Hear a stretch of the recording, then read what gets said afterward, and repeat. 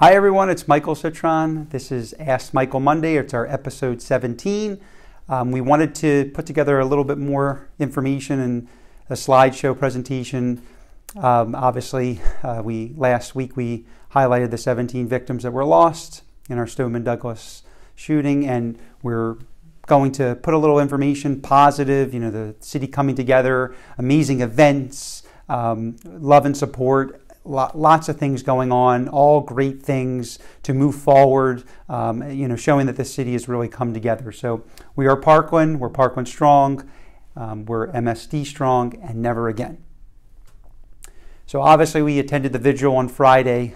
Um, it was an amazing outpour of support and love from our city. We actually, we live in Parkland Isles, and we walked across the street um, and we really saw the, the city come together. I, I, never felt so connected to a city as I did on Friday. I saw the commissioners and the the you know uh, the the city you know our neighbors you know talking to us and hugging and kissing and supporting and saw the students and saw just so much going on that that I, I was amazed at the love and support. You know, you know, 17 lives were lost that day, and I believe that you know we're we're we're looking at a, a at a school that you know I didn't go to school there.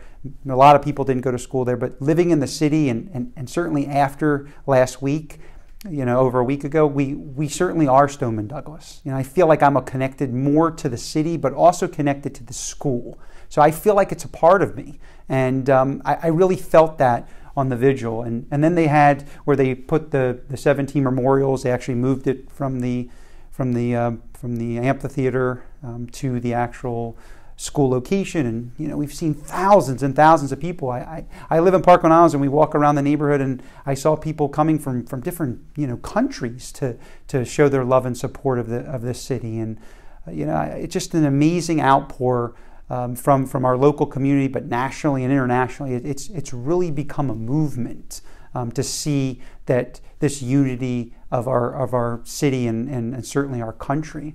Um, so we, we definitely um, we're supporting this. This run for, for Scott Beigel on February 18th, the community, including first responders, um, ran in support of the cross country coach and teacher, Scott Beigel. Um, it just was amazing to see it at our, at our, at our park. Um, you know, I, I, went over, I, I just was so surprised to see just how that came together and the love and support. Just one of the major reasons that, um, that this unity has taken place. So we, we've seen the, the, the, the events that have happened, and you know, I'm amazed at the student walkouts. I mean, there, there, there wants to be change. Um, I think you know a lot of kids are you know feel that they're connected to to Stoneman Douglas. So from across the country, I think the world, you've seen you know walkouts. We, are here right here on Wiles Road, and, and we saw Monarch High School walk out. We saw Westglades you know walk 11 miles to, to, the, uh, the, to the school site. So these things of outcrying for, for love and support, I, have been on this earth for almost 40 years. I've never seen something like this. Um, and I'm really proud of the students for what they're doing. And there are the futures, uh, you know, voices of our, of our country and our world. And I, I was impressed. I was very impressed with with the with the love and support from the from the teachers, you know, faculty, um, the local community, but but certainly the students. I mean, their their voices. Listen to them. They're so intelligent. They speak so eloquently, and, and I'm really proud to to be a part of it. And that's why I think we're connected to Stoneman Douglas. I feel like those kids, those families are a part of my own, and I feel proud. And it makes me feel to be a part of such a special city as what Parkland is right now and always was. This just makes it even even closer and better that we've come together as one through this tragedy.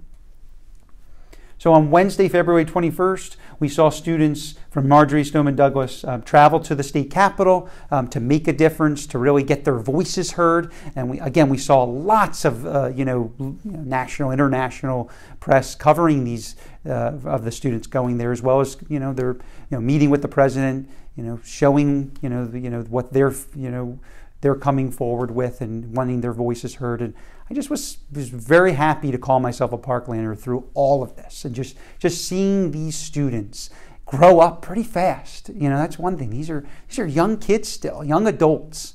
But I, I really think that they're, you know, amazing how they uh, how they've come together and, and, and, put together their presentations and their interviews, and it was really a great thing to watch. And I just felt proud, like a parent, like a, like these kids were, you know, my brother, you know, my family, you know, the, you know, these were not just strangers or just kids you saw in the park or when you drove into Starbucks and passed by them. I felt closer than I've ever felt to our city through watching these young minds, as well as our faculty, our amazing um, faculty of Stoneman Douglas, and our commission. So I've already seen change. You know, this is just informational facts that I've seen.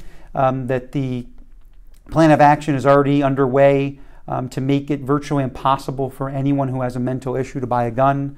You know, $450 million proposed to keep Florida's schools safer and $50 million proposal to expand mental health care incentives in the state. So we're already seeing action.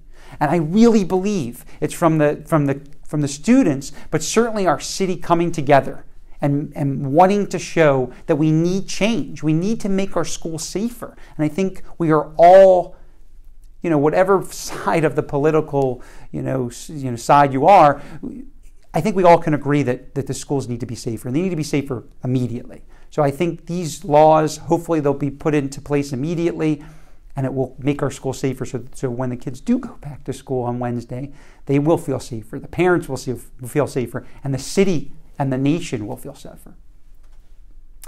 So the student orientation was yesterday. I actually you know, drove by, saw a lot of this going on.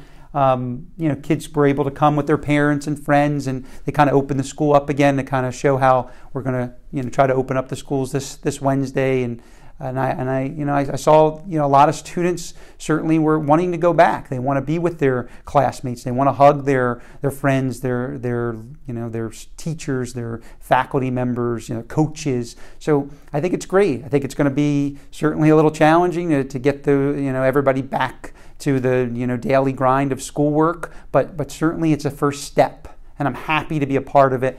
I saw a, a great message from the Stoneman Douglas principal saying he's there to hug every kid that needs hug. I think everybody in this in this city, you know, we've gone out to all the businesses that are you know. Um, offering um, to, to you know contribute you know some of their proceeds from a certain night uh, food um, to, to be contributing to these funds. So, you know, it's a great support, but I've seen so many shirts and so many wristbands and hats and, and you know, so much outpour that it's just amazing to be a part of. So I wanted to also highlight, I thought, you know, last, last Ask Michael Monday, we talked about the, four, the 17 lives. There were 14 also injured, three of which were pretty severe, and there's three still in in the hospitals right now, and I don't want their voices to go unheard. And I still want to pray and support their their speedy recovery.